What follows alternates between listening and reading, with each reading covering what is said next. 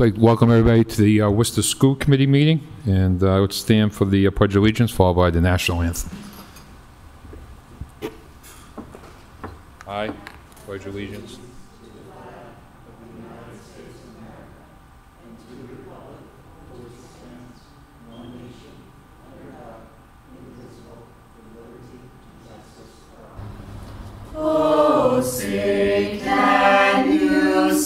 twilight's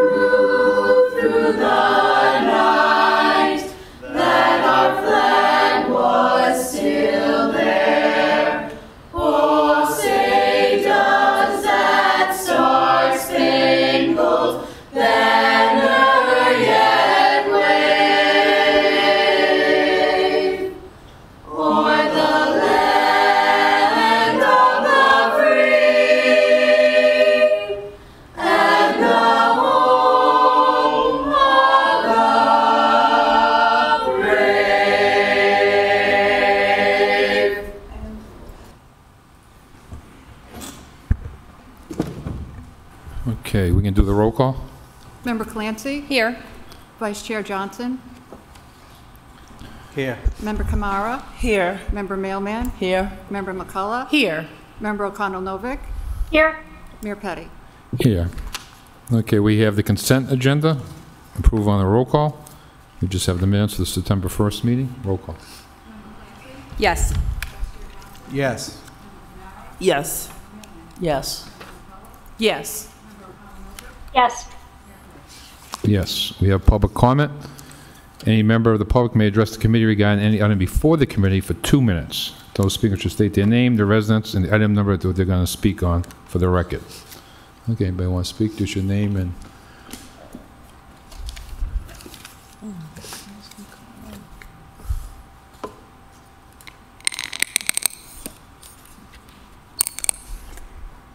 I hope this is, I hope this works. This- The height of this is a little off. Uh, Good evening, my name is Margot Barnett, and I'm a resident of Worcester. Um, I'm speaking on item 2 dash, GB2-203, which is uh, um, the report of of the um, memorandum of understanding. I've been following education justice is- issues here in Worcester for some time. I was very appreciative of City Manager Augustus's proposal to remove the school resource officers from school buildings. Over the course of the year, I had the opportunity to learn about the state standards for police officers interacting with students. I- think there's been some confusion about whether the standards set out by the state, which were then become, um, became mandatory as of August 2022, were applicable to our system with school liaison officers. I had heard clear legal opinions that the standards do apply to us. When I saw the draft MOU, Memorandum of Understanding, with a definition of the SLOs, the school liaison officers, being exactly the same as the state definition of the school resource officers, it was evident that it was exactly the same. The, um, the school um, liaison officers fit the legal definition of school resource officers. It's a distinction without a difference. And also clear that the people who drafted the Worcester MOU were aware of the standards. Therefore, it's unacceptable to have a document that does not meet the minimum standards set out in the state's document, which, as I said before, has the force of law at this time. I recognize and so much appreciate that the new administration of Worcester Public Schools is dedicated to a supportive and restorative model for student discipline. Both the aspirations of the school safety plan developed here in Worcester and the provisions of the state mandates were created in that same spirit. We can uphold those aspirations as well as state law by adhering to the standards set out by the state. Removing several provisions that limit when and where and how, when and how police officers can interact with students would violate both this spirit and state law. Therefore, I ask that the MOU be rewritten to conform to state standards. Thank you. Okay. Um, Just to be clear on this subject matter too, as I should have said it before, Ms. Barnett is absolutely correct. And uh, so we will have to uh, put the standards in place, but also people can add to this, to this standard if we'd like. So if people have comments, you're more than welcome on that to come up. There's your uh, name and city of residence and item number. Good evening. Thank you for letting me speak. My name is Melinda Martin. I'm a paraeducator in the city. I also reside in the city, and I vote in the city. Um, I just want to bring to your attention that we have been in negotiations for the ESP unit for just about a year now. Um, we have presented many, many items to um, the district team, the lawyer, and the two school committee members that sit on the negotiations. Um, in almost a year's time, we have not received any written um, counteroffers or anything written from the district. We've simply been negotiating with ourselves. We proposed a new pay schedule, as we had proposed last year.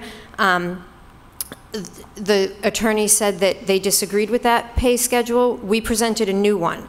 We're in terms negotiating with ourselves um, No, because we yeah. presented a Okay. counteroffer to our up- original okay. offer. No, I, I appreciate it, and uh, I let it go, but I don't think it's on the agenda tonight, so uh, technically, but we hear you loud and clear, so Thank I'm you. sure. I- uh, I just want to yeah, ask that, you know, it. Because I do have my two minutes. Um, No, it's a we- two-minute item on the agenda. Oh, well, I'll let you- I'd like, can I have 30 more seconds, please? Yeah, you can have 30 seconds. Okay, so yesterday, a paraeducator from another school contacted me and said she was, pre- when she was hired, she was presented with a certain position. She was not given that position and was in turn moved to a different position that she has no training for. She's going to, she's probably going to resign. Um, It, it just seems frustrating that we're so short-staffed we're being stretched in every direction, and I think negotiating to get us our living wage as we, you know, have asked for, um, you know, we're, we're short in every school. I can tell you inclusion hasn't happened in all the classrooms at my school Okay. um, because we're short-staffed. Thank you, But- Melinda. Appreciate you. you being here. Okay. Anybody else?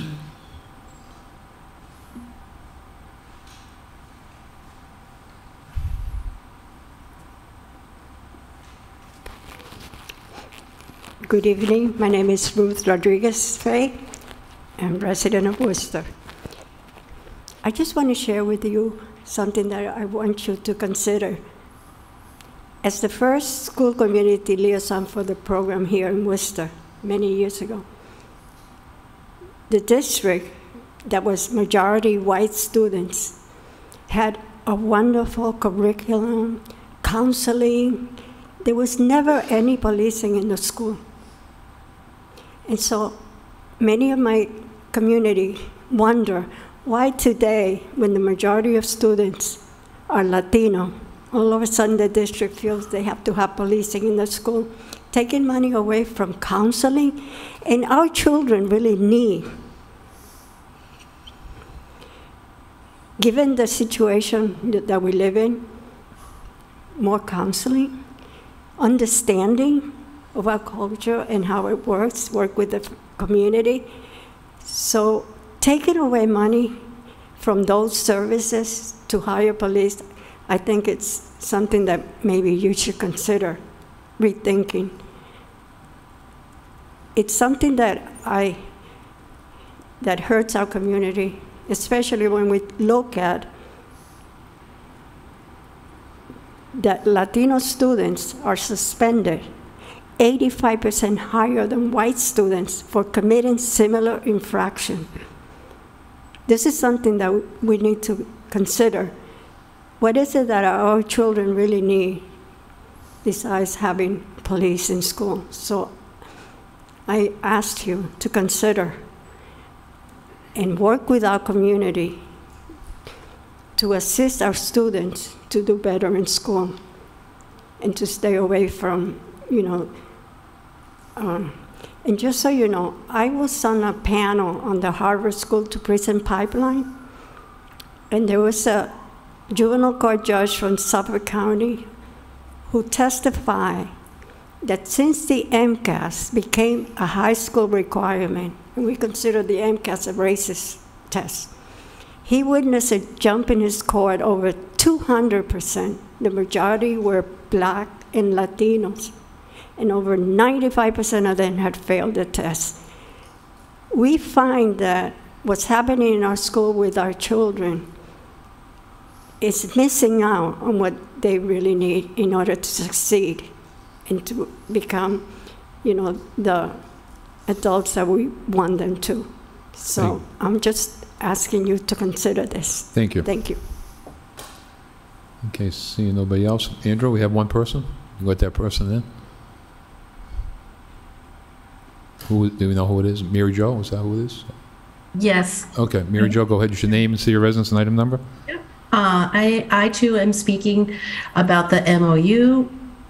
Um, I uh, am speaking to you as one of the, uh, um, uh, of one of the two folks that were able to chair the mayor's commission on Latino, the uh, um, schools and um, education. And I just want to remind folks that when we wrote that report and shared it with all of you, one of the things that we felt strongly about was this item. We really um, wanted whatever Worcester's final role was, that it reflect the state standards, that it reflect the work that the that the state had done to make sure that and that uh, these kinds of um, relationships between schools and law enforcement are fair and transparent and even-handed. When we uh, looked at this draft, we too are asking um, to take it back and to try again um, for the for the issues raised um, a little uh, by um, Speaker One. There, we don't see um, that uh, the that um, what we had asked for was adhered to. There are a few key pieces that are missing from this draft and what the state has set out as its um, standard. The state standard was written under Healy when she was the AG. We would like it to be at, uh, at uh, adhered to, um, particularly the pieces about notifying loved ones about um, the interactions between and the you know um, schools and um, in um, students that is not here. That's a key standard that latinos care um, that have noted uh, is not done and we would want that to at least start. Um, and then um, the and then just to also um, state that when we did the research and we saw that Latinos were affected more than other groups, even with the virus and everything that's happened, that gap has you know been there still. So it's still an issue that we need to work on. This this this is a great step. The fact that we're going to have an MOU, we would just like it to be done right, and we ask you to take it back and uh, take a look at what's not there that is in the state um, standard. And a final note on uh, process. I understand that you know we were hoping to get this in January. It's much later in the school year. Um, and so whatever is going to happen from this point forth, we uh, would like it to uh, happen um, in a uh, you know quickly and with um, an openness. And Okay. I'll stop there. Thank you, Mary Jo. Appreciate it. Okay, I think that's everybody, Andrew? Okay, so I'm going to close that part of the meeting. We're going to go to the report of the superintendent. Uh, The Worcester Public Schools priority strategies for the for the school year of 2022 to 2023. Uh, Madam Superintendent? Thank you through the chair. Good evening, everybody. Happy to be here this evening to give an updated report on um, what's been going, what we plan on doing this school year as we uh, prepare to move into um, the development of the strategic plan. So, tonight, the school committee will receive an update on key priorities and strategies for the 2022-23 school year. Um, Become familiar become familiar with the next steps and the recommendations that I'd like to bring to you, and then provide feedback on these key priority strategies, and um, the recommendations. So, as your listening committee, what I'd like you to be listening um, for is did we capture this idea of um, including people and decisions that impact them? That's really important to, um, to us as a district leadership team. We want to be sure that that is um, starting to permeate through how we work with um, people. And also that we have started to really try to begin to operationalize this idea of a culture of belonging and continuous improvement. So if you can just be listening through that lens, continuous improvement, culture of belonging, do you hear that in the um, strategies and priorities? And then also um, let us know if there are um, this the value of including people in decisions that impact them. That would be helpful. And then, of course, anything else that you would like to add. So, first and foremost, um, want to just couch this in the entry plan. So this is um, put into the, the superintendent entry plan that is on our website. This is just a piece of it, right? And to let you know that um, just moved into chapter two, or getting ready to design chapter two. So chapter two, if you'll recall, is the listening to learn. This is the portion of um, the crafting of the future story of Worcester Public Schools uh, where I will be bringing forums of, of parents together, bringing forums of Worcester Public School educators together, um, meeting with principal groups. Um, I'm trying to think of all the different people and asking um, very structured questions um, to get similar, to, to start to get those themes, right? And so the questions are actually very broad. They're just going to be the same questions. So the questions are going to be um, what, is, what are the strengths of the district? Where are some opportunities for improvement, and what would they do if they were me as the new superintendent? And um, we're gathering a, or we're, we're looking at a platform. It's called um, Thought Exchange. We're or we're, we're, find, we're looking for something that will be able to capture all this data so that we um, can then trend it um, and bring that together for you simultaneously. So, first starting with the chapter two, um, and then starting to move into chapter three, where I've uh, called it learning in action. We're actually in them visiting schools, and I want to, you know, try to attend some department meetings or grade level meetings, or just watching what's happening in our schools. So um, to start to um, align what people say, and then is it really what's happening, right? And if there's any holes, we need to know that too, not for a shame or blame, but for improvement. Um, so that will be coming together then chapter. So I'm working on that, just getting it all scheduled and set up. I've got um, Yvonne Perez as the lead behind the scenes with Marco Andrade to help with all of that. So um, watch for that to be forthcoming. Chapter four will then be when we can take all this data, analyze it, bring some themes to you. Our goal is to bring it to you at the December meeting. Um, I may be a little ambitious in that, but I'm going to still keep trying to make that happen. Once that's all done and we're, we all agree that these are the key themes, then we move into uh, chapter five, which is the actual um, designing of using that data to draft uh, or the refine the strategic plan for the district moving forward.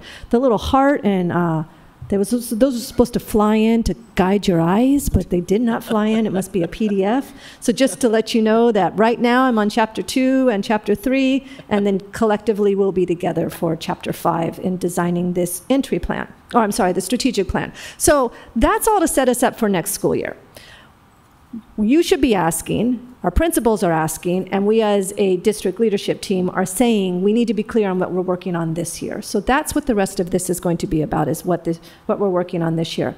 Let me just acclimate you to what each slide is going to look like. I'll use this one as the example. So um, we have key focus areas that's what's up in blue. So this slide is about the pipeline development. That's an important piece um, that we need to be working on this school year um, so that we start to diversify our workforce. So by so each slide will show what the priority area is, what we plan on doing by June 2023. That's the what. Then the strategy is the how. How are we going to achieve that? And then what should you expect as a deliverable? Uh, so for pipeline development, we plan on um, identifying, developing a pipeline, this is by June 2023, to diversify our workforce at all levels including um, developing models to access opportunity. When we say models, meaning what are the different ways that families can find out about career op- opportunities in our district, that if you are um, working in our, our community, our district already in a position and you'd like to move up, that we have clear ways by which you can do that. We don't have all that codified right now. So we, that's one thing we want to get in place. Um, how we're going to do that, we're going to create a, stack, a, a stakeholder work group who's going to investigate, develop, and define what we're calling the WPS criteria and model for pip- pipeline development. And in that, we plan on including how we would identify people to, you know, tap them on the shoulder and say, we'd like to see you move to the next level, or have you thought about this? So identifying, building, strengthening, and diversifying our workforce. Um, the deliverable that you should expect by the end, by June 2023 is this criteria, so that we get to some, we start to get to some consistency about what does it look like um, to seek out talent and diversification in our community. We know we have great, um, we just have so much, so much talent here, and we have to be very intentional about how we find them and then how we grow them. Um, so we, the deliverable to um, the district will be to have this criteria and the model for pipeline development. I've asked Yvonne um, Perez, who is our Chief Diversity Officer, to lead this work, and then she'll be bringing um, that stakeholder group together, and she will be the one that will make sure that this, uh, this deliverable is achieved. So pipeline development and just let's we have to start with the people, right? We're a people organization. Then we bring them on and we want to make sure that we're clear on onboarding so that we're setting people up for success. So by June 2023, we want to make sure that we have clearly defined onboarding experiences that are differentiated by employee type. So the teacher onboarding needs to look different than the onboarding of a paraprofessional, onboarding of a principal, onboarding of a secretary. right? That all needs to look different. Um, and we want to make sure that that includes um, orientation programs. How we're going to do that collaboratively, we're going to develop a standard of practice or an SOP guidebook for the departments and administrators who are involved in supporting all employees. Um, we have, I've asked Jennifer, our hu- human resource officer, to uh, take the lead on this. She'll be bringing together our unions and um, the different people that, again, are going to be part of this process to get this guidebook in place. Lot, we just we need to codify things. If we don't have things in writing, then we can't even start a continuous improvement. It becomes very much what I like to call urban legend. So that's um, one piece. So we get our pipeline, we start diversifying it, get that talent in place. Then we have clear how we're going to on- onboard them, set them up for success. Then, as an example, this school year, you know that we launched a student information system, a new one, right? Well, it became very clear that we need some more work in the onboarding part of the student information system, right? So um, I just want to personally thank all of the staff out there that have been just doing your absolute best to try to make sense of this new information system that is impacting your daily work. Um, and we, as a district, need to work with you to develop a standard, um, another SOP, standard of practice, for WU EDU implementation. So we've got some training, but we need now a plan for how we're going to implement this. The, the way that we're going to um, do this, or the, the how, is we're going to convene an end user stakeholder group. So I had the opportunity to meet with um, the 42 week uh, secretary union group on Friday afternoon. And they are just, you know, they are doing their absolute best in trying to implement this WU EDU. Um, but they, they know what it looks like each day on what's working and where the challenges are. So we need to bring people like that together at the table with us to help plan out the implementation. We're hitting that quickly because um, it's happening right now, right? So um, by the end of this school year, we will have a clear standard operating practice for D, EDU implementation that then we can plug into onboarding for new people who come on. And the people who will help design it are those who are using it right now. And so that'll include how do we coach people in the use of this? They're doing it right now on their own. I would like it to be more systemic than that. So um, that's an example of pieces of work that will go into the onboarding in the future. Brian will be leading this work in addition to bringing in our IT and our um, ed tech, again, our secretaries and those who are using the system. Okay, so those are three big pieces. Still a lot of infrastructure. Note, I haven't even gotten to teaching and learning yet, right? Um, so the next one, family and community engagement. This has become kind of since day one for me. I've, I kept hearing about it, and just so the committee knows and those listening, the way that we got to this is something would come to me, and I would say, Who leads this? And then we would all kind of look at each other.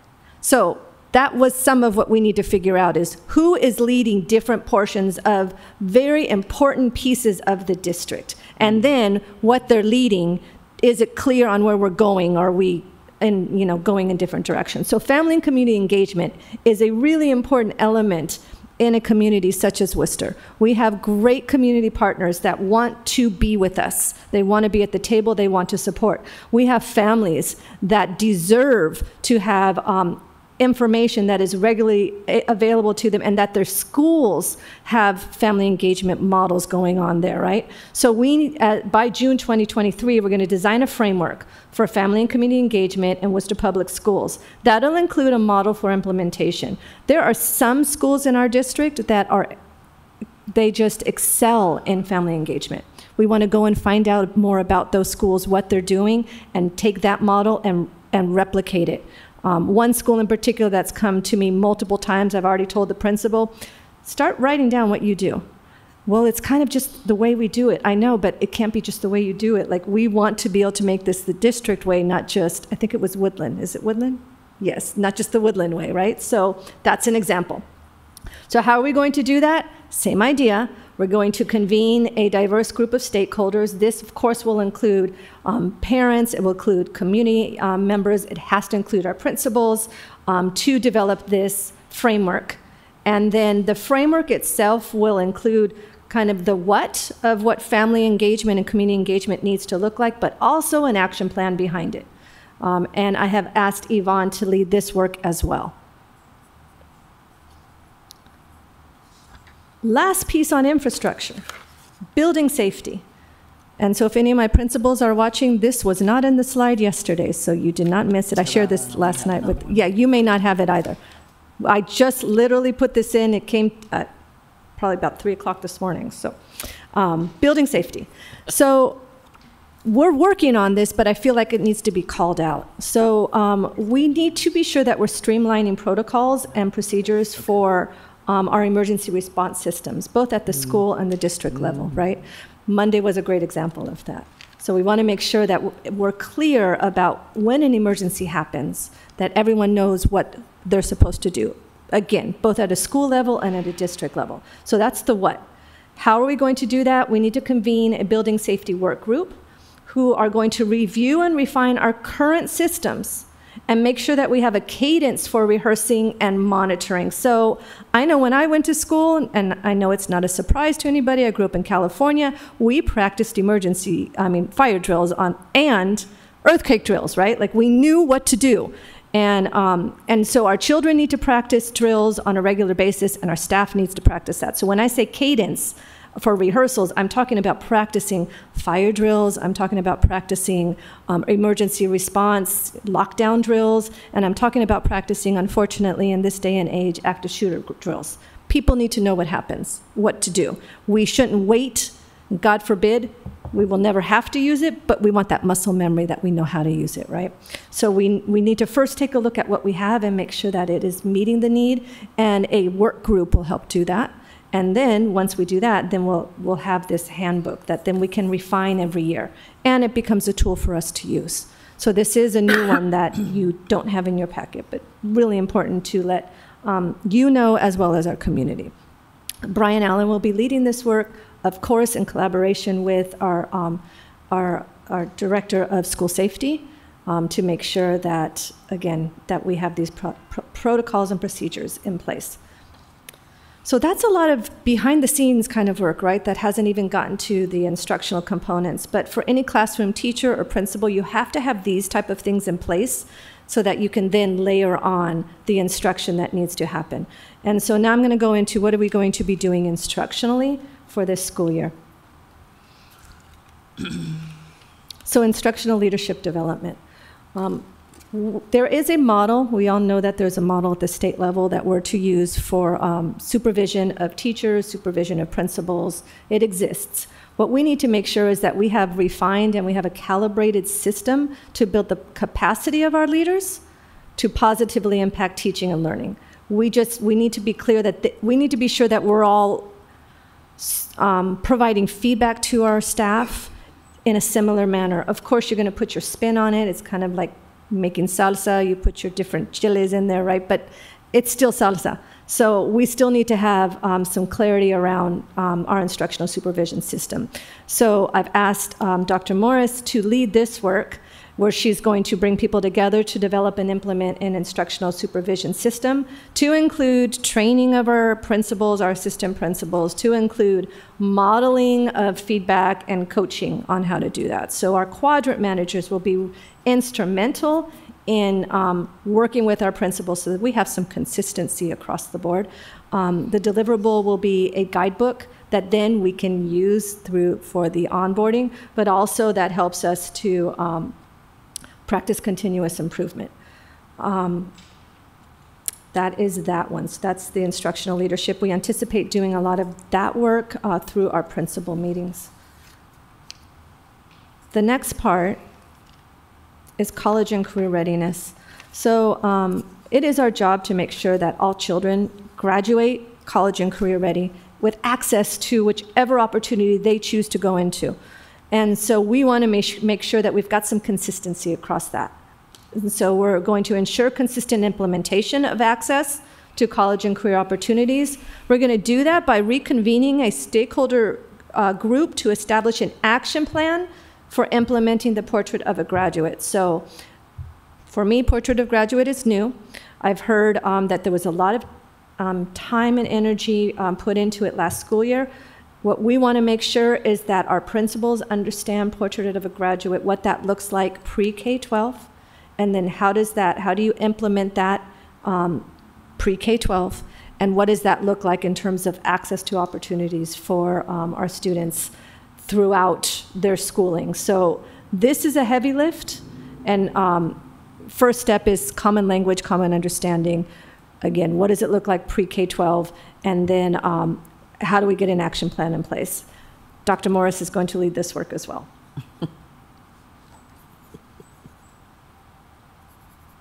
Accelerated student learning. So, this is, of course, a priority, and it will always be a priority.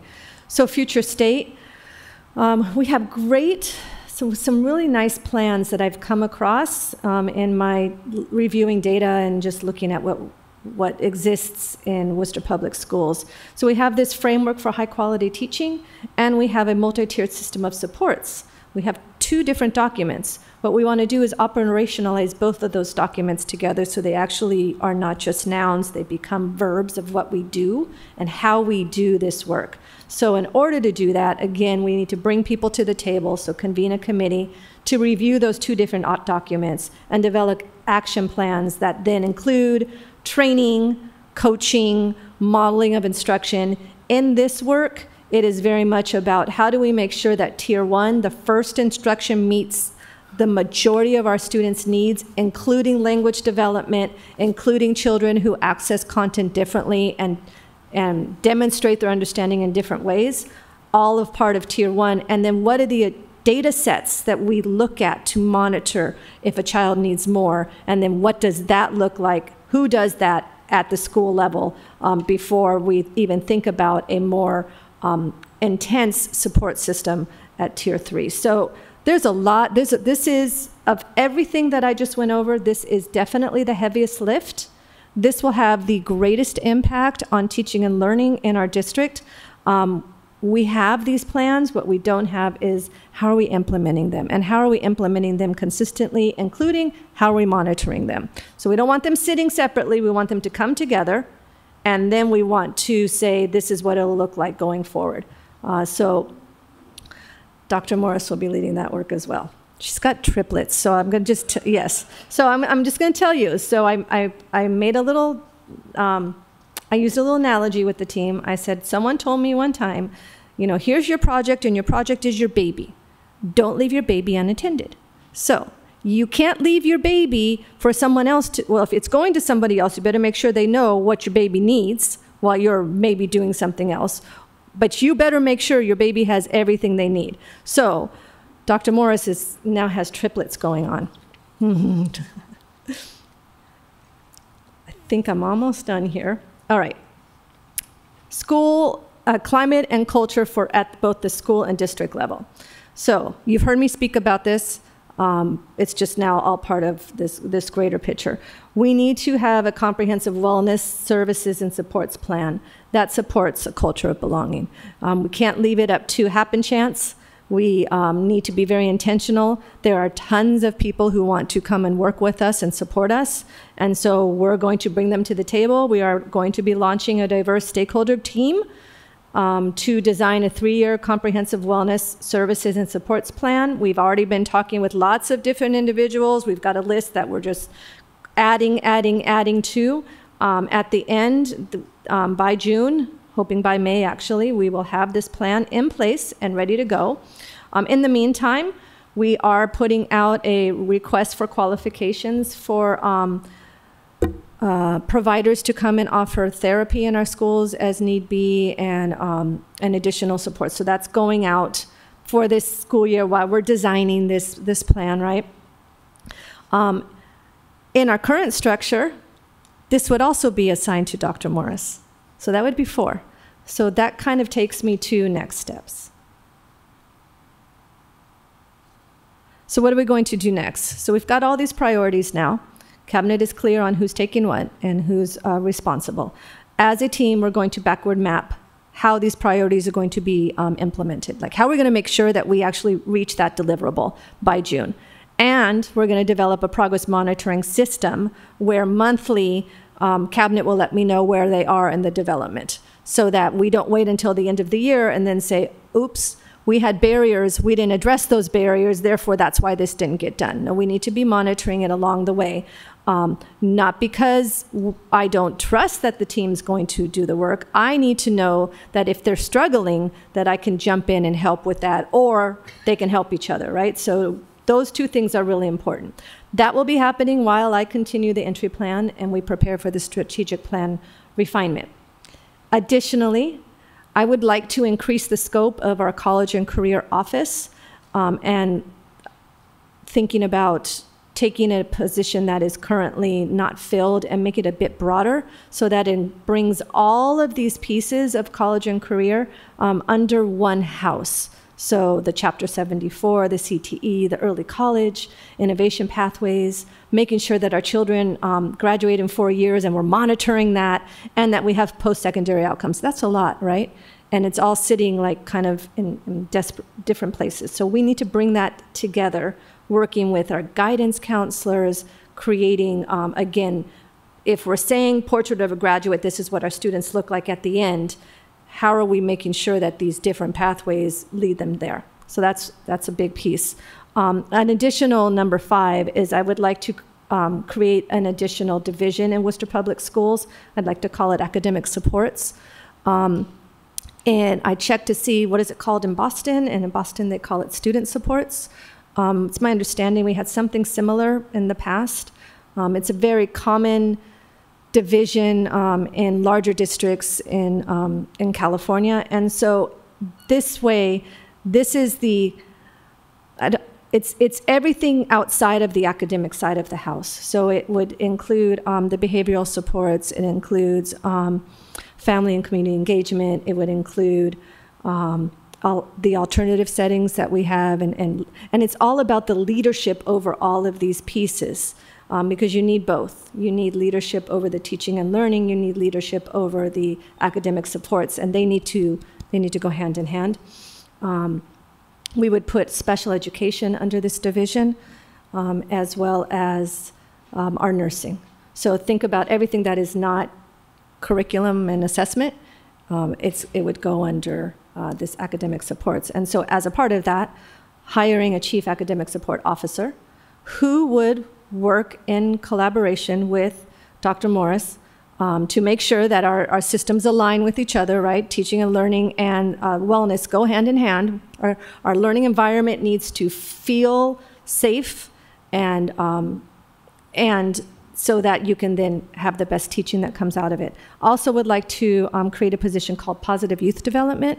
This position would work on uh, restorative practices, restorative justice, um, and making sure that we are training people at our school sites around this work um, and, and collaborate, uh, align with, and support um, our SEL model. So, positive youth development, and then a position for family and community engagement, because we don't have that, again, that just kind of sits everywhere. Um, and that position would include um, oversight of our parent information system, as well as um, I know there's an interest in, with the committee on um, some more consistency around school site councils, and that position would do that. Before and after school programs, so extended school day, extended school year, that's the community engagement side of it. So this person is very much a people person and will help to develop that framework, but then also train um, at our school sites. So with that, I shared this with the principals, I'm just going to close with this. So we have to take our first step, right? So you may or may not recognize this, um, this, this hiking trail somewhere. I don't even know how I got there, but I was there. Uh, first step. And as we take a first step, sometimes we may not know exactly where we're going. So this, these priorities are to help give clarity on where we're going so that we know that there's an end in sight. And as we work on getting that end in sight, then we can take a broader scope of what's going to happen in Worcester Public Schools um, through our strategic plan. And we don't even know what's beyond those trees, but I can imagine it's going to be something pretty spectacular um, because we will be a model of educational excellence through a culture of belonging and continuous improvement. And so I close by reminding us that everything we do is about the children we serve. These are our beautiful children at um, South High School and at um, Sullivan. So I welcome questions and feedback. Thank you. Mr. Member Johnson, by Member Mailman. Thank you to the chair, through the chair, to superintendent. I just, I just want to say thank you for this, um, this report out. Um, I, I, I must say that I'm happy with what you're producing, the clarity of this report, and kind of the next steps that you're doing. And one thing that we've always talked about is, is transparency and putting it out there in the public for everyone to see on where we're going in the district. We really appreciate that, and I think I could speak for um, the members here um, of the school committee. Thank you again for your work. Uh, Member Mailman? So I definitely heard about, um, you wanted to make sure we were hearing continuous improvement and that we were hearing a culture of belonging, and I did, I do hear that, so that's very cool. Couple of comments. On the building safety slide, which I don't, it doesn't necessarily matter, what I heard is about the process for, you know, how we're going to handle a lot of different categories of things regarding building safety. But I think that at one point we talked about inventory and about an audit of our buildings. And I, so can you comment on that? Madam Superintendent? Yes, thank you, through the chair. Um, If I had read my notes, I would have added that. So in, in addition to um, looking at our current practices, we are also, we are also this year, and we've already, I believe we've found the company, or we're finalizing, Brian's on the line, he might be able to confirm that, um, an audit of all of our schools, our processes and procedures in practice, um, so that, the- and we will get recommendations there that then we'll be able to feed for next year. I- What this is about is, and so what are we doing this year to make sure that our schools are as safe as possible? Okay. So both. they- They'll, they'll be going simultaneously. Correct. But that seems to me, those, those audits of that are like critically first in steps, so. Yes. two cents on that. Um, then on the last slide, number four, increase this, put college and career together. I, I struggle, I struggle. I have never felt like this district, which is putting more and more money. How much is Doherty going to cost us? And how much more is in Doherty because we're going to have Chapter 74? This is significant dollars that we're putting into our programs, and we have never really had at, we do in the school, but not necessarily at the district level, an expert on vocational education. And I just think a district our size with the kind of money where I just, so you're gonna, I need to be convinced. And those are my good. comments. Thank you. Thank you. Um, I think it was Ms. McCullough followed by Mem- Member Kamara, and I think it's, okay, go ahead. Thank you, and thank you so much for this report. I, I agree that it ties in so much with what you've discussed with us um, individually as well, and really just the excitement on what the possibilities are for the district moving forward and the team that you're creating that's going to achieve these steps and really having, you know, actionable items and expectations and clarity around our process and how we're going to continue to elevate the Worcester Public Schools, and I appreciate that you present expected outcomes so that we're looking through a report, that we have a clear path for ourselves as well. Um, I, one of the things that you have, it's also on the slide that member mailman referenced with number four is what's happening post-secondary outcomes. That's something that I've brought up several times in the past few years, and I think that's so important that we know not only where our vocational students are going post, I mean, ending up post-secondary and what trades they may be ending up in and what they're utilizing, but all of our students, right? Because that ties into the success of the district overall and knowing where our students are ending up, and they're always part of us, right? So we want to know where students are ending up. The other thing I'm excited about is this whole discussion about the wellness services and support and the academic supports division because I think we've heard so much in the past year about the social emotional learning components and we've heard from our school adjustment counselors and our school psychologists and you know our teachers and our staff and our students and we know uh, we already had challenges in this area and then we went through a pandemic so i think having a dedicated division that's working towards providing those supports for our students is really going to be um, really beneficial for the district, and I'm excited to see where things are going, and I appreciate the report. Thank you. Thank you, Member Kamara. Thank you so much um, to the chair. I just want to say also thank you, um, kind of just highlighting what my um, colleagues have um, mentioned about this thoroughness of this uh, report. Um, I know we're all thankful for that. I am very thankful for that. Um, I have a few questions. Um, one is regarding the role in the Office of the Chief Diversity. I see that there are a few items here that um, is in that is under the charge of our Chief Diversity Officer, which is um, um, Dr. Perez, Yvonne Perez. And so my question to that is, are we, will these tasks that come out of um, this, like this report, be used to shape that role of our diversity office and what that is going to entail? Madam Superintendent. Through the chair, that's a great question. Hadn't thought it of through that lens. Definitely the pipeline development, most definitely, because part of the chief diversity officer's job description included diversifying the workforce. So that will definitely be there. The family engagement and the community engagement naturally fits there too. Um, just hadn't thought it through that lens, so I would say yes, um, just a different way of looking at it. Thank you. Because I certainly know that um, that is one position, I think, since it's been established, that um, maybe for me, because I'm a new school committee member, that's a little bit wonky. Um, and I, I- I see all these great things as ways in which that we can use to um, um, bring more to that to that office. Um, so awesome. My other question is about the oversight of all of these documents that are listed in this plan.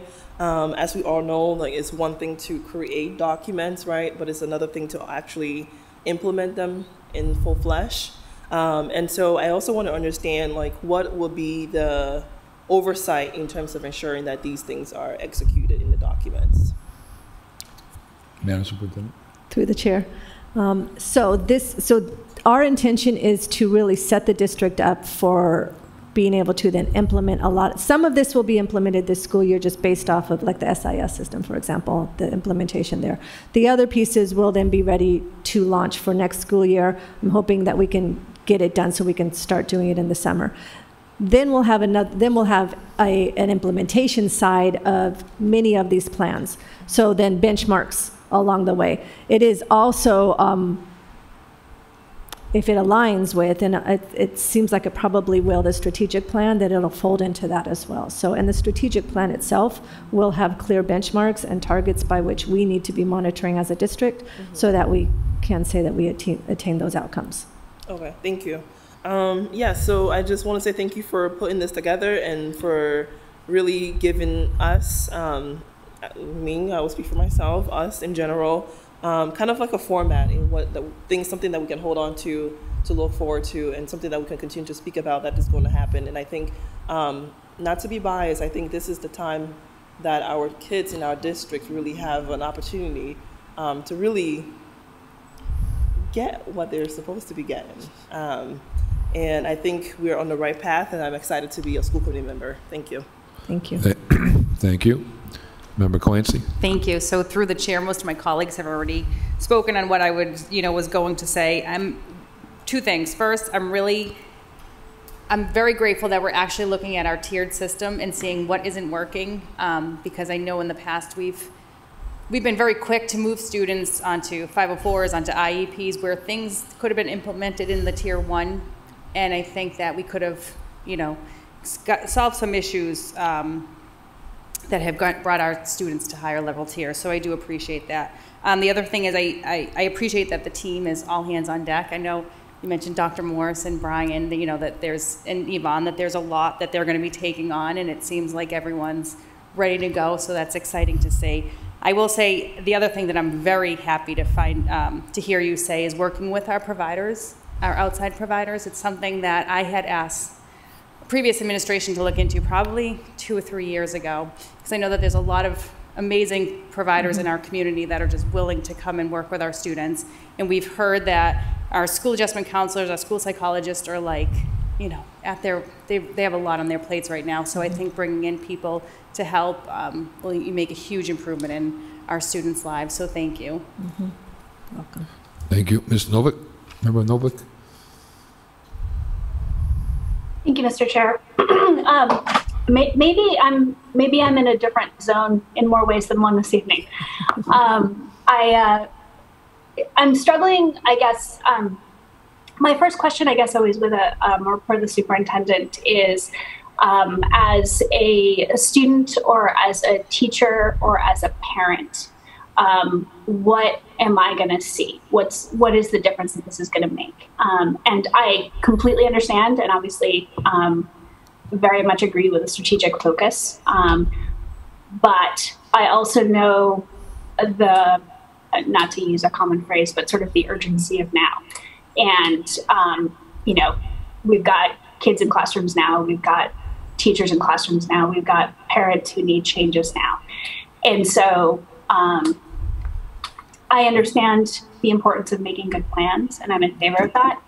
What my question through the chair of the superintendent is, is what is it that happens next week? What is it that happens in November? What is it that we're going to be seeing over the course of this year? Um, there are a couple of things in particular that I guess I um, I think are really important that I um, would would want to see represented, um, including things like. Um, I mean, obviously, we're not spelling out who's in what stakeholder group, but I do think that the importance of student voice and student perspective um, and the student experience in our schools is something that we haven't really had a chance to look at, um, and that I think that is is incredibly important, um, and is something that we really haven't been spending a significant time on. Um, I know that there's already been work going on on, on discipline, um, but I think that the community really needs to hear from us in ways beyond the MOU that I know we're going to talk about later, um, of what it is that the district itself separate from the Worcester Police Department, um, intends to do about that. Um, and I, get, I, I'm glad to hear some of the, the mental health thing, but I mean that that's been a screaming emergency for at least 18 months at this point, probably longer. And um, I also wonder about facilities beyond um, beyond the thing. And I, I'm sure that you know any of us would have a list, um, but it's sort of you know if if we're talking about um, priorities and we're talking about it's sort of this year versus longer term, um, what what is it? Uh, what is it that we're going to see that's going to be different this year from last year? Um, I, so I guess that's my big question. The other thing that I, I did just want to flag, honestly, with some concern, is that um, the the idea that we would be moving forward with implementation of Portrait of a Graduate when this committee has never voted acceptance of the work, and where I know that a number of us had some pretty considerable concerns about um, the degree to which that actually had equitable um, district and community involvement. I, I I would be concerned about that, at least in terms of that notion of people being at the table, um, which we were asked to look for, which I know is a valuable superintendent in any case. I I would I would reserve judgment pretty strongly on that. So if it's possible to get some perspective on that, thank you, Mr. Chair. Madam Chair? Yes, Madam- through the, Madam Superintendent? through the chair. Thank you, um, Member Novick. So, those are the questions that I've been asking myself many times as well, even as we were designing this. What will someone literally f- feel differently this year? What will be the different experiences? And um, the, the, the core of it is people are going to have a seat at the table in the discussions. And so when people start to come together to design plans and to develop common language, it starts to impact their daily work outside of that time at the table. That I've experienced that regularly. I've seen others do that. It's almost like an osmosis. So students will have a seat at the table. We will be starting, I didn't bring it in here because it's just something we're going to keep doing. We will have a student advisory, a, stu- a superintendent student advisory that will be part of that. As these plans are being developed or these action plans, they will be brought to the student advisory so that they can give feedback, but not just feedback, they can also in some of the situations, let's start with the portrait of the graduate. I don't know how much our students even know about that, right? So going to them first and asking them before we then take it to the, the adults. So they'll be part of all of this designing. They're going to have a, um, I mean, a, a great impact on their their peers as well as those younger than them because they're going to have a seat at the table. So that's a big piece of it. This is people will be at the table designing the work, talking about it, um, and and preparing us for next year. Or, but as, as part of that, it's their own learning that then starts to impact their daily work. Whether you're a classroom teacher, a school adjustment counselor, principal, a secretary, whatever that might be. Um, so that's one of the pieces.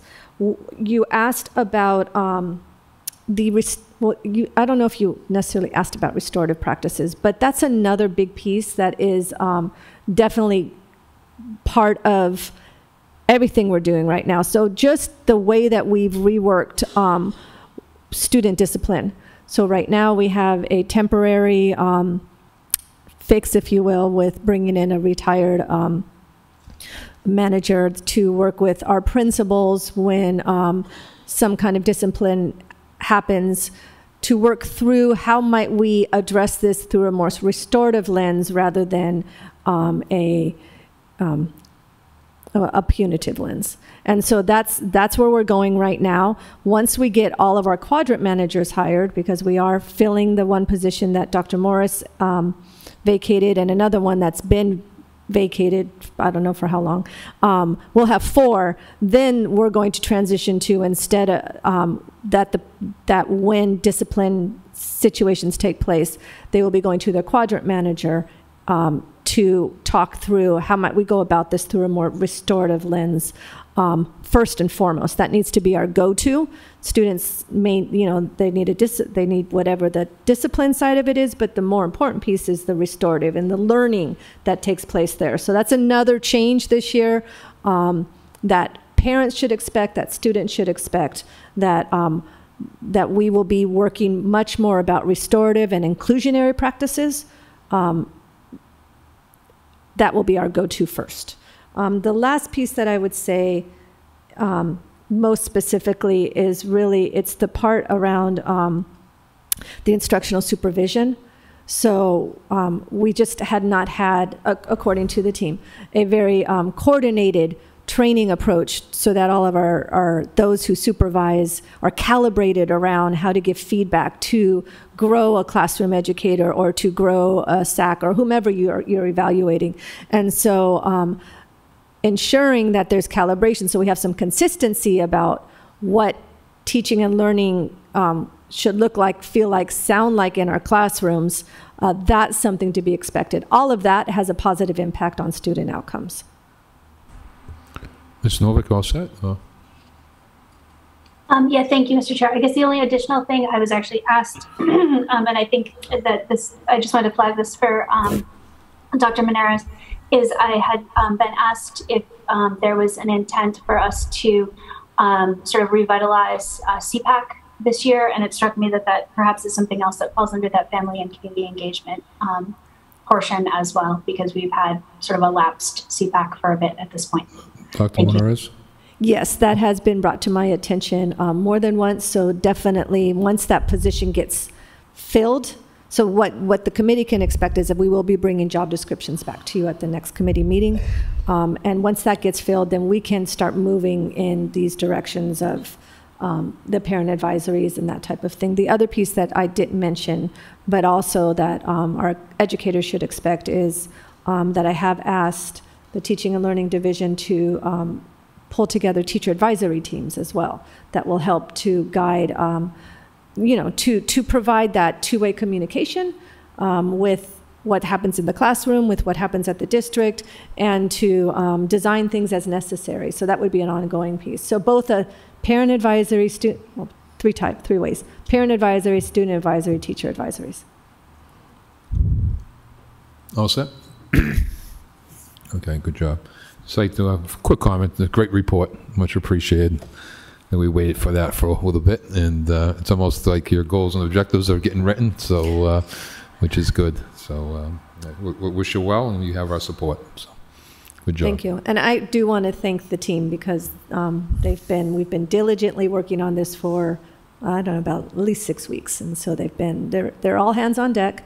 And they, they know that their job is to lead the work, not to do the work. We bring the people who do the work, who actually are going to implement it, um, to the table because they'll give us the best information. So thank you, team. Okay. Thanks, team. Okay, we are going on to, we're going to accept into file. I guess we have to do a roll call, roll call? Member Clancy? Yes. Vice Chair Johnson? Yes. Member Kamara? Yes. Member Mailman? Yes. Member McCullough? Yes. Member O'Connell Novick? Yes. Mayor Petty? Yes, we are on report to the Standing Committee, the Standing Committee on Government's Employees Issues, met on Tuesday, August 30th. Ms. Clancy? Thank you. So through the chair, the Standing Committee on Governance and Employee Issues met um, on August 30th. My present was myself, Member Johnson, and Vice Chair McCullough. Representing the administration was Dr. Monárrez, Ms. Boulay, Ms. Mahoney, and Dr. Friel. The first item that we took up was GB 1-285, which was to formulate a policy regarding the use and replacement of Chromebooks and their accessories. We had actually had numerous discussions on this in previous meetings. Um, and at this point, we, I made the motion that we file this item, and on a roll call three to zero, that item was filed. The next item was GB 0-368, which was to create Worcester School Committee operational norms. I made the following motion, which was to request the item be referred back to full committee for a dialogue with all committee members at a future date. And that item was approved on a 3-0 roll call.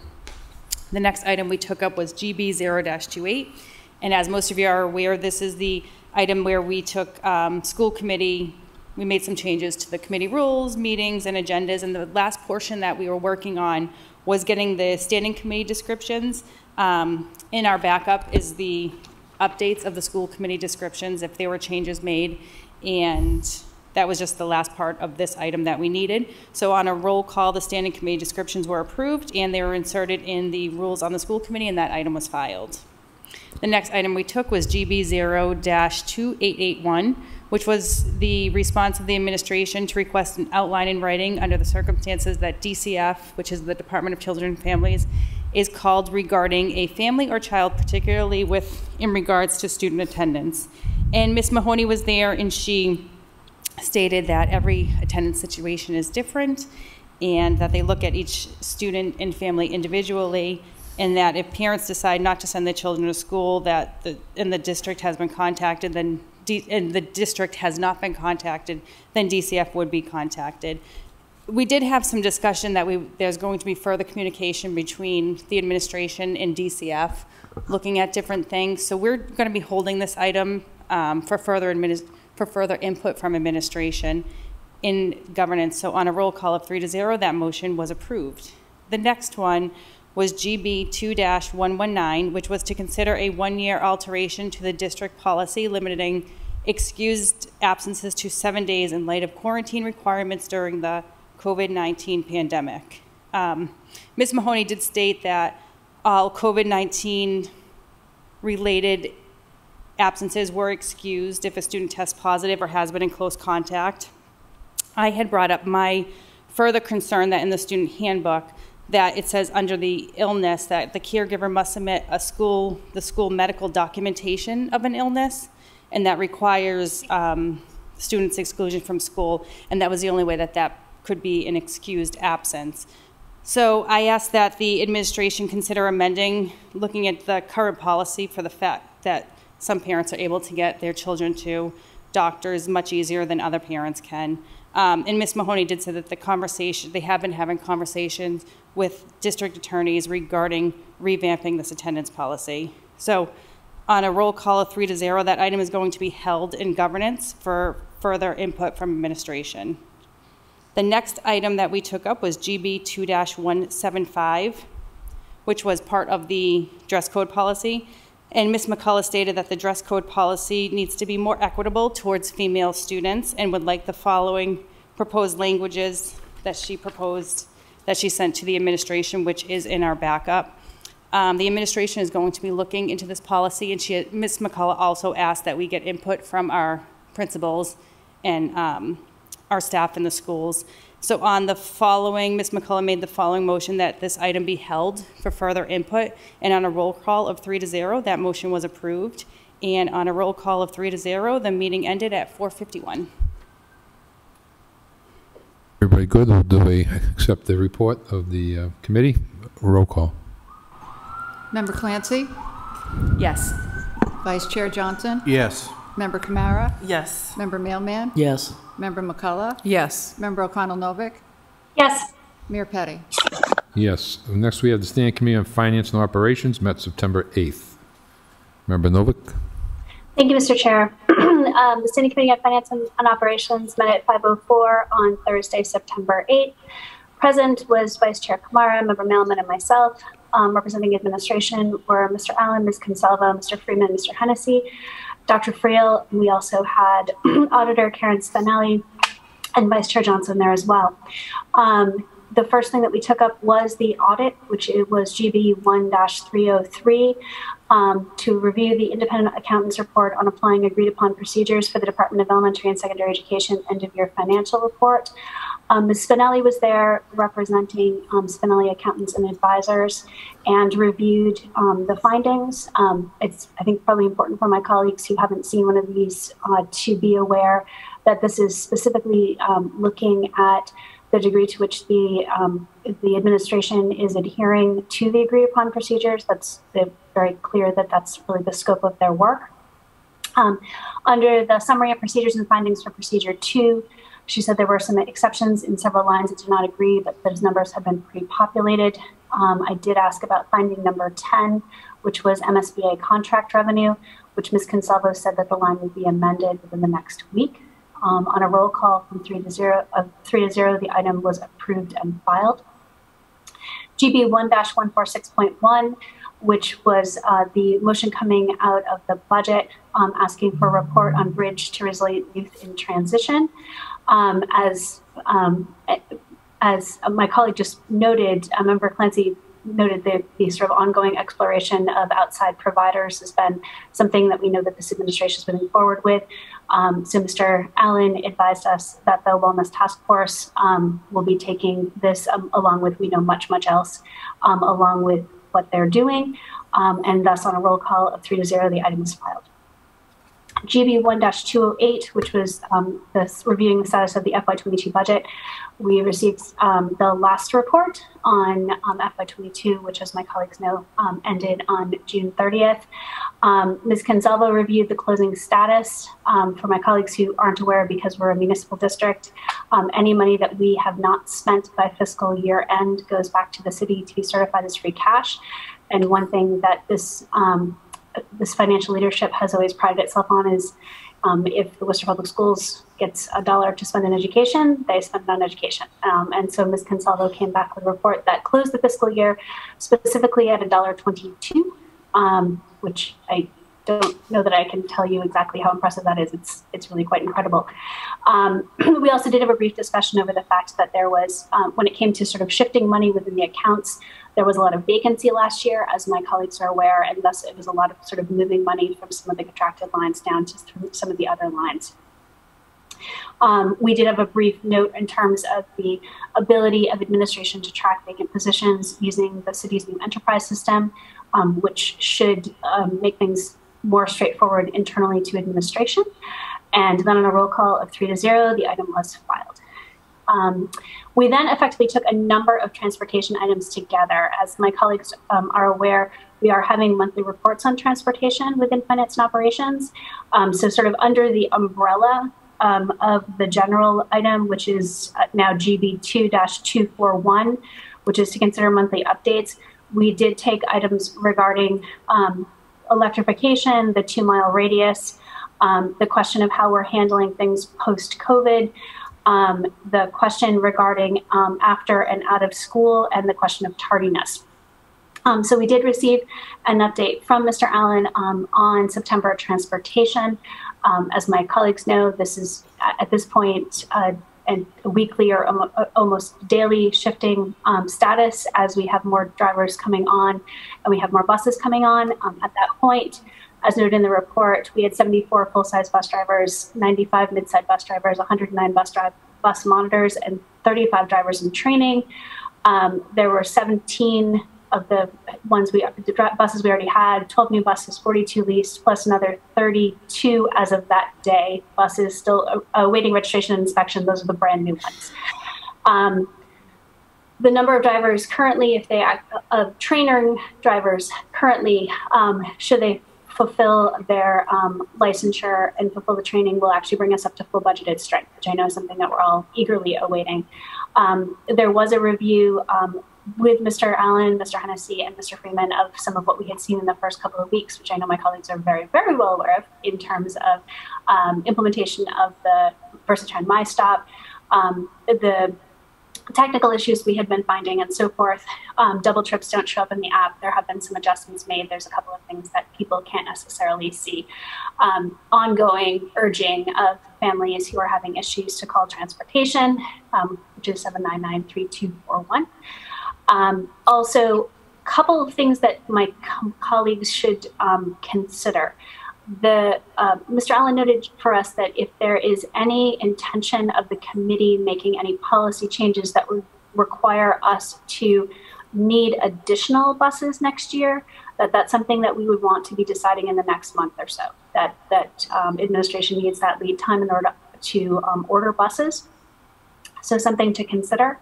Um, and also, the second thing is that we do have 13 buses that are coming off of lease this year. And so, as administration has been considering for some time, um, the use of alternative fuels, which we know is of um, avid use or avid interest in the community. Um, part of what Mr. Allen reviewed with us at the subcommittee was the various considerations that they had moving forward. Um, that is also obviously something that, because the, that those buses need to go out um, for order in the next month or so, that needs to be decided. Um, the recommendation from administration is that we use propane rather than electrification at this at this time. Um, in part, as you'll see farther on in the report, um, in the response to Member Mailman's question, um, due to the question of climate, um, due to the question of the um, topography of our city, shall we say, um, and also the infrastructure that's needed to sustain electric buses. The recommendation is that the um, the main buses that were that we move towards um, the propane, that we pilot the use of an electric bus, um, so that we can sort of continue that without it being something that we are sort of solely dependent on. Um, there were, as you can see um, in the report, some of the advantages reviewed um, of propane over electric, thus the change that we would be moving forward with on that. Um, we did also, I know some, I'm not the only one who's gotten questions around um, private and parochial school families wishing access to the MyStop app. That is something that's possible, but will require some additional data um, sort of syncing. And so that hasn't been top on the priority list because we're still trying to make sure that we're um, providing it for all of Worcester Public School families, but that is something that can happen. And then in terms of the discussion of out of school and after school, there was another meeting, as was reported in the original backup of the um, the, of the um, meeting. Um, there, there's ongoing sort of discussions with the out of school providers. Um, we, what we have continued to see is that, of course, we're running short in terms of the number of buses that we have and the number of routes. Um, Worcester Public School policy has always been that if there's a bus heading in a direction of an after school provider um, that has space available on it, that that is something that we then can provide to those families. Um, but we um, don't create routes just for that. Um, and obviously, as we are continuing to run short staff, that's something that we've had limited access to. Um, and so, as the year goes along, as we have less sort of backing things up, um, there may be additional spaces coming available over the course of the year. But some of this is about the transition year as well as anything else. Uh, and I think that is everything, Mr. Chair. I hope that gives you a, a full picture of transportation. I know this is a priority for all of us. Um, the in terms of what we're doing with the items here, and I do just want to reassure my colleagues because we're making a motion to file a number of them. We are faithful to having a report on transportation every month. I do want to make sure that we in, in the Finance and Operations um, Standing Committee are faithful to making sure that your questions and concerns get answered whether you're on the committee or not. Um, so what we're going to do is have the, the general item of the monthly transportation report be reported out. Um, and please make sure that you feel that you know you can use that item to to ask whatever questions are necessary that you that you need to answer have answered in a subcommittee. Of course, I know that we all have um, at this point probably have transportation and Mr. Freeman and Mr. Hennessy on speed dial. Um, so the roll call was three to zero in filing um, GB 9 355, GB 1 101, GB 2 44, GB 2 109, GB 2 205 and GB 2-241 will be held um, for next meeting and for future meetings. And on a roll call of three to zero, the meeting was adjourned at 6.05. That's the report, Mr. Chair, for the approval of the, um, the school committee. Thank you. Thank you. So the motion is to accept the filings and the hold and uh, roll call. Member Clancy? Yes. Vice Chair Johnson? Yes. Member Kamara? Yes. Member Mailman? Yes. Member McCullough? Yes. Member O'Connell Novick? Yes. Mayor Petty? Yes. Okay, uh, Student Advisory Committee. um, Ms. Rushton, do you want to identify yourself and the school you're from? And Sure. Hi, my name is Nellie Rushton. Um, I'm a senior at Doherty High School here in Worcester. Um, and I just wanted to comment on the implement, implementation of the Portrait of a Graduate initiative within our school system um, and the idea of offering our students a seat at, at the table in terms of that development. Um, so last year, I was able to work with this program, and uh, they were able to send out student focus groups uh, to collect input from our students. From, I know they had at Doherty. I'm not sure where else they had it. I believe they had it at all the other high schools. I'm not sure about middle and elementary schools. But I would like to um, propose continuing that opportunity of sending um, administration out to all of our schools, not just the high schools as well as well as the middle and elementary schools, so that we can include all of our students' perspectives, um, values, ideas and input in this portrait of a graduate, um, and thus meld them with our educators' values, our administration's values, um, to really create a concrete, unified representation for a Worcester Public Schools graduate. Um, and I believe if we have the input from our students directly, um, if we continue these student focus groups, we are able to effectively and directly communicate with our students um, so that they can voice their ideas easily. Um, and this can help lead to a more easily communicated portrait of a graduate that we can implement in our schools and encourage our students with. Thank you. Thank you. Okay.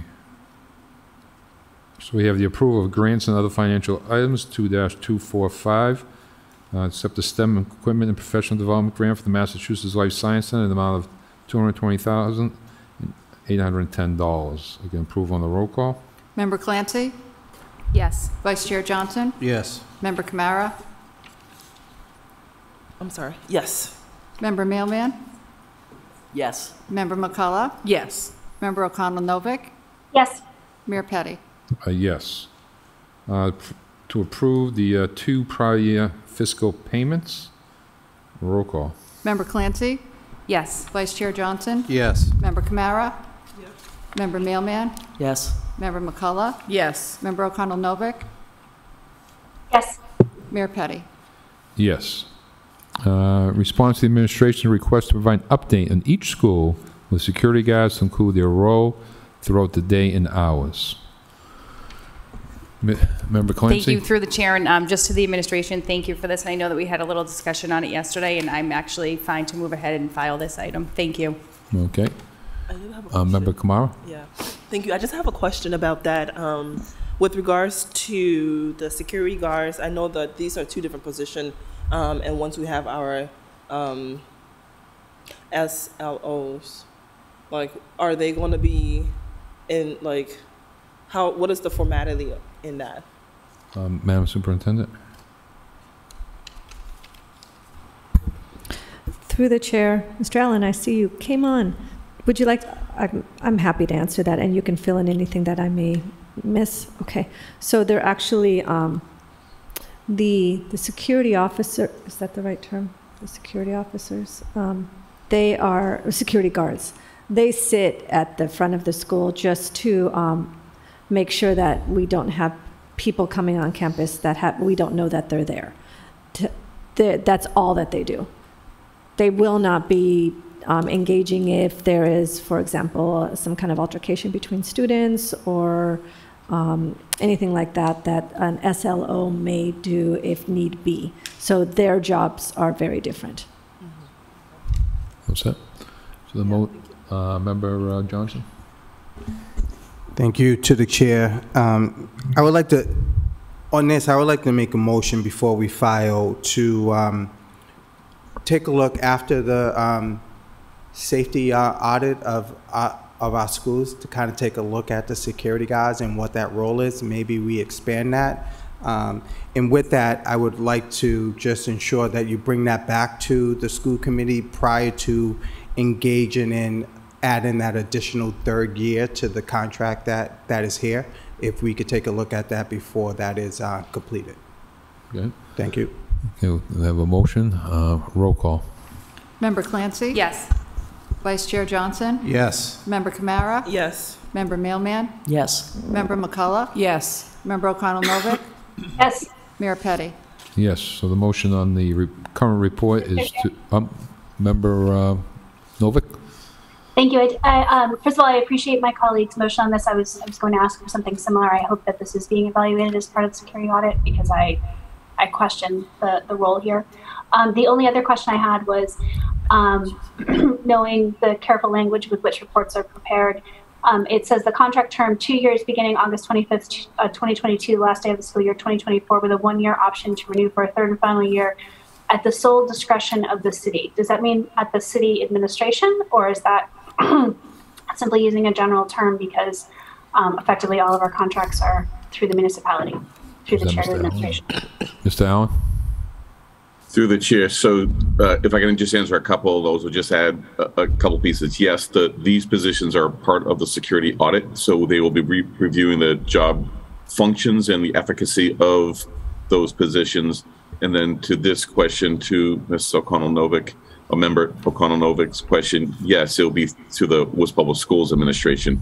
We, as part of the city, the city actually awards contracts, but it'll be at our recommendation. Okay, that's a relief. Thank you. Thank you.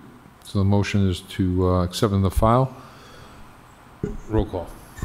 Member Clancy? Yes. Vice Chair Johnson? Yes. Member Kamara? Yes. Member Mailman? Yes. Member McCullough? Yes. Member O'Connell Novick? Oh, did I forget someone? Yes. Oh, and Mayor Petty? Oops, Yes. Response to the administration to request the update the community and the Worcester Public Schools and COVID. Uh, Madam Superintendent? Yes, through the chair. So our numbers um, in committee, this may look different than what you received on Friday. These are as of today. For our students, we have 135 known positive cases. That's actually 28 less than last, last reported. And for our staff, we have 62, which is eight less than, eight less than last reported. So we're starting to trend down, which is what we want to see. That is all. Okay. Good, good news. And we're still giving out the booster shots over at the library. If people want to look that up, I got mine yesterday, so. Member Kamara? Um, Thank you so much. To, to the chair, there um, was a time that earlier this year, um, I had an item in the agenda for us to look at these numbers. Um, maybe the easiest way would have been quadrants. Um, it, so my question is to the new administration if we'll be able to see um, the numbers per at least per quadrants. I know right now the, the numbers as a whole they're decreased, but God forbid. One of the things we were also looking at one time was, maybe we didn't want to do, is look at each school almost, and, and um, if, because parents ask if they're to have an outbreak or not. so Right. I'm not sure if that's legally uh, possible, but Through the chair, um, I do actually think that we can do that. Um, So I will work with the team to bring that back, starting at our next committee meeting, just to take a look at it. We'll start through quadrants and see if that meets the need. But what I think is most important that you're saying is, are we monitoring if there's some large outbreaks? And I can assure you that our nursing um, staff is. But to, to your point, we'll bring back uh, by quadrant to start and see if that meets the need. Okay. Perfect. Thanks. Okay. So, uh, so provide an update at the next meeting. Uh, Next is response administration. Mr. Oh, Chair. Member Novick? Thank you. Thank you to my colleagues. Um, the only uh, the additional question I had on this is because we know that people are not required to report positives at this point. Um, and I, I realize I'm, I'm I'm asking this question off the cuff, so I don't expect an answer this evening. But um, how are we trending with regard to absences? Um, since it seems to me that perhaps the more telling question is actually whether or not people are attending, not just whether or not they are reporting that they have COVID. Um, I, again, if there's an answer, I'll take it. But if there isn't, perhaps that's something that we can include in these as well in the future. Um, Madam Superintendent? Through the chair, we don't have that answer, but we can start to include that in these updates, just in terms of what's the overall um, attendance looking like for the last two weeks. All set? Thank you. Okay. Okay, we are on uh, 2-203.1. Response to administration to request the superintendent update the school committee and MOU with the Worcester Police Department for school liaison offices and provide updates at subsequent school committee meetings to include plans for the working MOU. Uh, Madam Superintendent? Thank you through the chair. So based off of the feedback that we've actually received um, through um, previous reports, through the, the, the safety task force, through tonight's um, public comment, we will take all of that information under advisement, and then we'll continue to work with the task force and bring back something that, that brings it all together, meets the expectations of the um, state of Massachusetts and the expectations of the community. So taking it all under advisement, and we'll bring something back to the committee. Thank you, thank you for your hard work and uh, on this and your one month being here, or two months now. So, uh, okay, so we can uh, provide an update, we can I guess maybe resubmit it back to you and you come back with it? Is that, put it on hold? Yeah. Um, We'll we'll provide an additional update. How's that? You can get, we'll file this one. Is that all right? Oh. Uh, Member Johnson? Thank you, Mayor. Um, Yeah, I- you, you were just speaking about filing or whatever. I, I- I would like to continue this. You you know, again, I, I think this was one of the worries that we might have had going into this on kind of what the MOU may look like um, when it came back. And, it- and I know um, ensuring that it didn't have any impact or anything on our policies or anything like that. But again, I, I'm just, when I read this, I was concerned that how this looked and how the other MOU, um, the state of MOU that is law looks is kind of concerning to me, and I'm just wondering how or why we would settle for anything less that doesn't memorialize that state MOU in regards to our family and children here in the city to ensure that it's a robust written document that follows the law and that we are covering ourselves in the event of anything goes on. And I think that anything that comes back that is less than what or not equal to what that state MOU is, I think we're selling ourselves short as a district and that we should look further into that. And I Thank you. think uh, we couldn't agree with you more. And uh, so we can hold this one, then we get the other report, you can compare it, and if you want to do that. Okay. Uh, Member Mailman? I- And also, just to point out, it said we need to follow the state plan in our Ju, July mi- minutes, right here in our actions on 721. So, um, do we have a time frame, Or do we think this is going to be, I mean, it's already been hanging, we were looking for this when we first started. So are we, do we hope to see this in October? And what is the process going to be? Since we, since there's a state document that we know we're going to follow, I can't believe it's going to take all that much time. So when do you think it, we might get it back to us through the chair? Madam Superintendent? Through the chair, I would say the latest would be the second committee meeting in October. That would be the latest. Want to make sure that we bring it to the task force, um, that we work, uh, there is the work with the, the chief of police, um, but to your point, there is a model, shouldn't be too much more that we need to do. It's, it's making sure that it gets on the calendar. So the absolute latest would be the second committee meeting in October, I would guarantee, I would, I would expect. I had told all of you that I'd have this to you, I think, next cool meeting, we got it early, so that's the plan on the next time, too. Okay, thank you. Thank you. Member Kamara? To the chair, I just wanted to know, and I, th- and, um, yeah, because I do remember that, uh, for October, and, um, um, I just want to ask also for the, um, tax force, um, if there is a way, I'm just saying, so if there's no way, my feelings won't be hurt, um, if to bring in, um, so from what I see here, there is um, from Citizens for Juvenile Justice, there's a guy, Leon Smith, to maybe kind of like read this over before it comes to the administration or our tables the next time. Okay, we can do that, right? Yep, good point. Okay, so we will hold that. Oh, Member Novick? Thank you, Mr. Chair.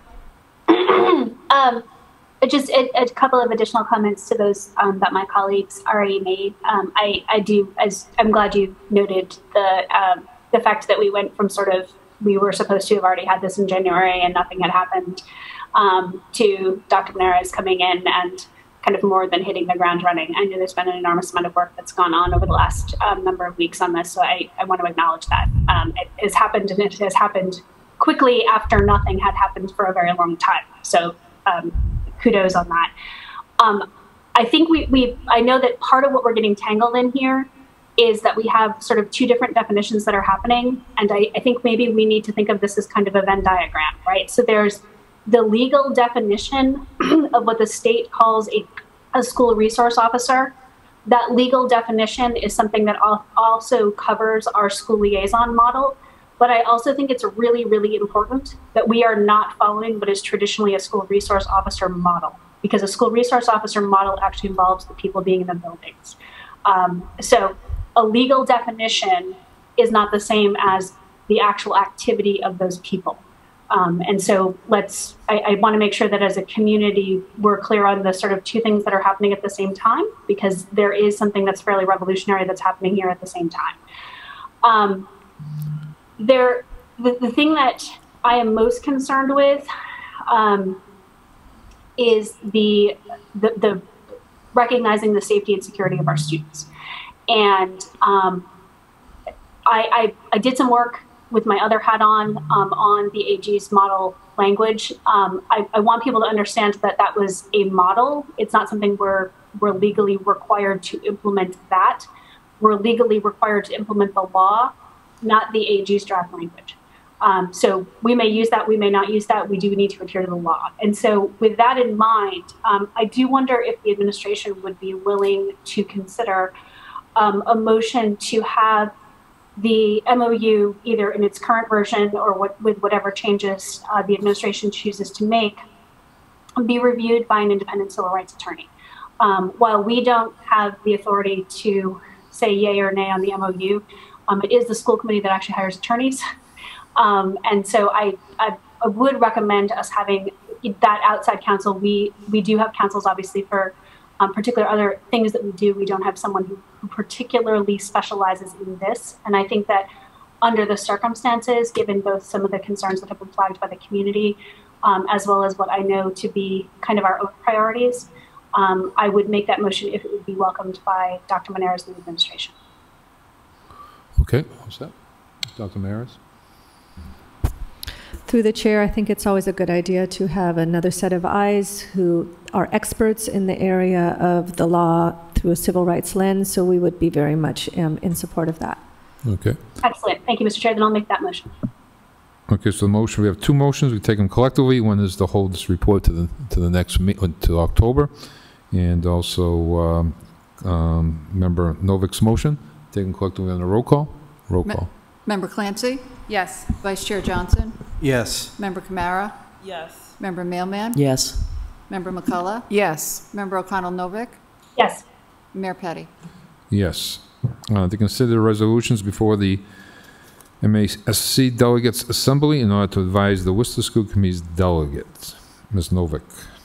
Thank you, Mr. Chair. Um, I put this on here uh, just as a, a matter of um, review from my colleagues. Um, the resolutions that go before the MASC Delegate Assembly um, are deliberated. Um, and so, really, effectively, this is intended to give us a chance, um, should we wish it, to advise, though I would recommend that we not bind the hands of Member Mailman um, as she goes to represent us in November. Um, there is, I will tell you from past experience, um, not uncommonly resolutions that are amended from the floor and so forth. So we don't want to send her in to say, you know, you got to vote XXX.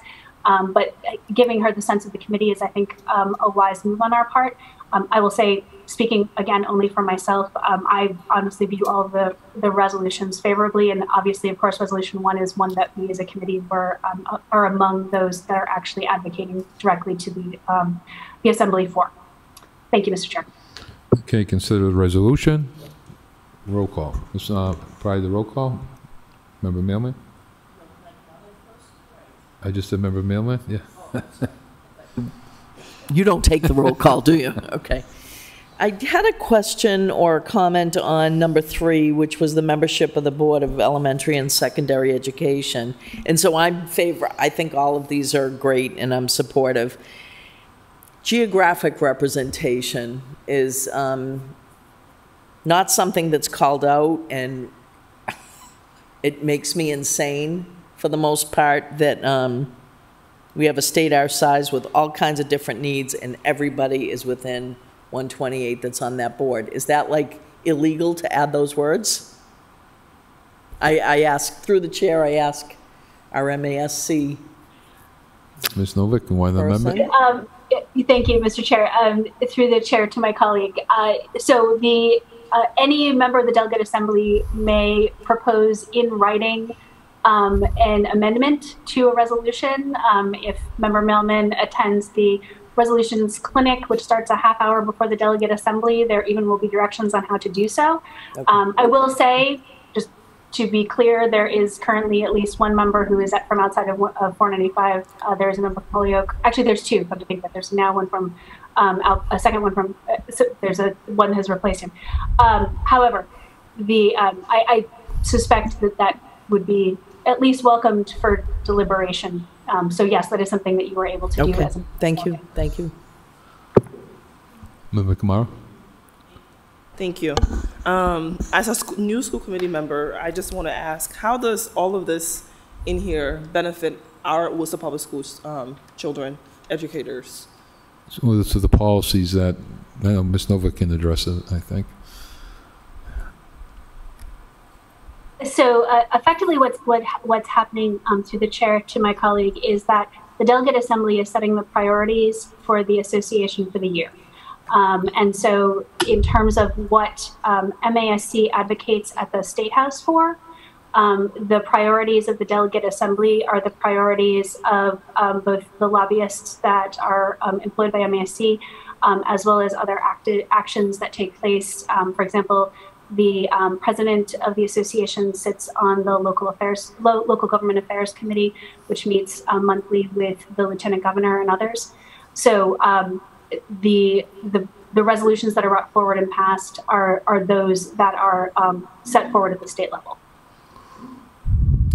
I do have a, a- a- Sure. another question. Um, for resolution number one, um, there is a word that talks about children. What is the age l- um, range of this definition of children?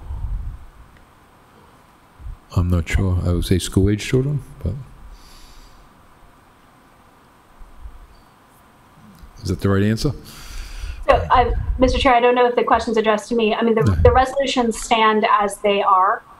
So the, there is not, I mean, the definitions of individual words are not actually provided within the resolution. If that's something that Member Kamara wishes to pass on to our colleagues to make part of the discussion, that's certainly something she as an individual member can do. Right. That's so. That's something that I would like to pass on. Okay.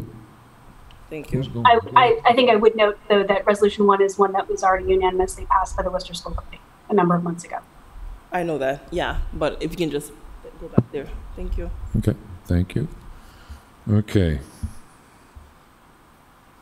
So consider a resolution. Roll call.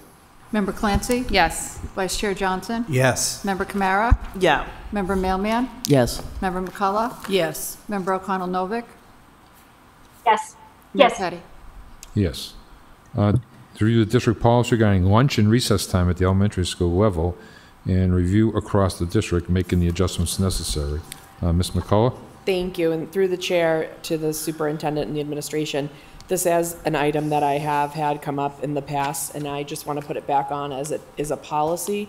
And I think it's one that we need to look at and see, um, you know, what the actual specific policies are around it, have those be clear to our families and our educators, and ensure that they're being consistently followed, and maybe even have the conversation about ways. I know we had some students of ours advocate for additional recess time a few years ago, and I know that can be challenging. It, it was a very, it, they were very prepared and compelling um, conversation, and because sometimes they felt like they were rushing to eat their food just so they could get to recess, just different things that are part of that. But I know obviously we have to focus on time on learning and our requirements around that. But just looking at this overall as a district and making sure that we're following a consistent policy that is clearly stated.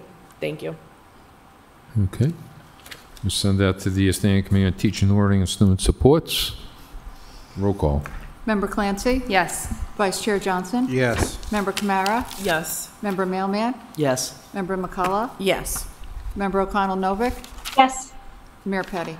Yes, to collaborate with the state and national school organizations to advocate for change in the federal Department of Transportation policies barring commercial driver license testing in the language other than English. Ms. Novick, As it reads, Mr. Chair. Refer to the Standing Committee on Finance and Operations. Roll call. Member Clancy? Yes. Vice Chair Johnson? Yes. Member Kamara? Yes. Member Mailman? Yes. Member McCullough? Yes. Member O'Connell Novick? Yes. And Mayor Petty? Yes, to coordinate with the city on installation and maintenance of public sidewalks in the interest of student safety. Send that to the Joint Committee on Finance and Operations and Education. Uh, Ms. Novick? As it reads. Okay, roll call. Member Clancy? Yes. Vice Chair Johnson? Yes. Member Kamara? Yes. Member Mailman? Yes. Member McCullough? Yes. Member O'Connell Novick? Yes. And Mayor Petty? Yes. Okay. We have, the next item is 2-251, the consider approve a job description for procurement coordinator. All set with that one? Okay, roll call. I'm sorry. Um, uh, Member Kamara? Yeah, um, I think I had a, what is this? For some reason, I can't find all my documents today, but they're in there some, somewhere. I have a question, I don't know whether or not, um, this is possible, but I just wanted to understand. Um, there is a required qualification for, and I think it's item, for two, one to three years um, procurement experience within a municipality. Um, I know that this is probably like a pressing skill and skill set that the person of this role should have. Um, but I wanted to understand if that could be a preferred qualification, or does this, or should it be a um, required qualification, and whether or not that bars certain people to Madam get Super- this position over others. Madam Superintendent? Through the chair, I'm going to ask Mr. Allen to speak specifically to the need for that qualification, if it could be a preferred versus um, a must-have. Mr. Allen? Yeah, I I think, uh, through the chair, I don't think that um, needs to be a uh, required qualification. We can move that to preferred. Thank you. Yeah, and I do want to ask about that same. Um, I found my paper now. um, the Massachusetts Certified Public Purchasing Official. Um, is that a paid certification through our public school, or, or would that person need to pay for their own? Uh, Mr. Allen? The chair, we've paid for that training in the past, and we would make that available to this person, but it would be eventually a requirement for this position. That is um, the certification really needed for procurement for um, positions uh, done by municipalities. Okay, thank you. So the motion is to approve the uh, job description as amended. Roll call. Member Clancy? Yes. Vice Chair Johnson? Yes. Member Kamara? Yes. Member Mailman? Yes. Member McCullough? Yes. Member O'Connell Novick? Yes. Mayor Petty? Yes. Next is consider the approval of the job description of the evaluator of development- developmental readiness preschool arena. That we don't. You all like to vote this, or? Okay, roll call. Member Clancy? Yes. Vice Chair Johnson? Yes. Member Kamara? Yep. Member Mailman? Is this a vote to hold? No, to, uh, we're in the middle of a roll call on the job description. Okay. uh, um, I don't have it, so I can't vote on it.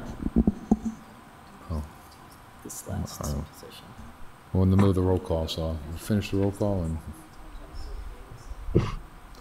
No? abstain. Abst- Yeah. Member O'Connell Novick? Yes. And Mayor Petty? Yes. Next is consider the approval of the job description for the early child, co- childhood coordinator, of the child find and teaching and learning. Oh, you missed Ms. McCullough on that one? Can we have Ms. McCullough's vote on the previous item? Ms. McCullough? My vote is yes. Okay. You thought it was a yes? Yes. Okay. Okay. Okay, consider the approval of the job description for early child coordinator of the child find and teaching and learning. Okay, approve this. Roll call? I'm sorry. I just have a question though. Sure. Um, Uh, Member Kamara? Yes, thank you. Um, it, I mean, maybe this, what I have is old, but it doesn't have, uh, this agenda does not have all the things you're now naming here.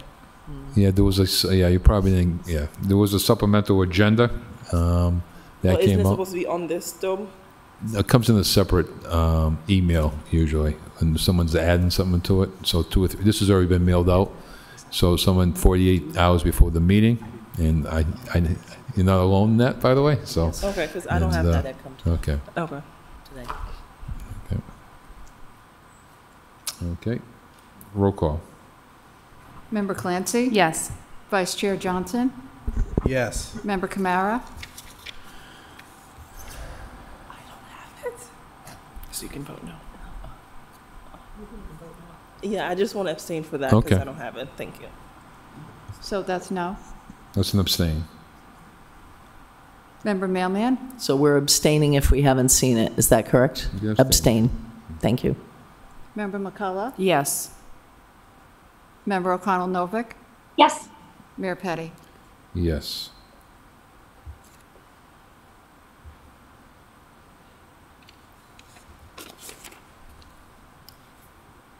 Okay, and that brings us, I'm confused here.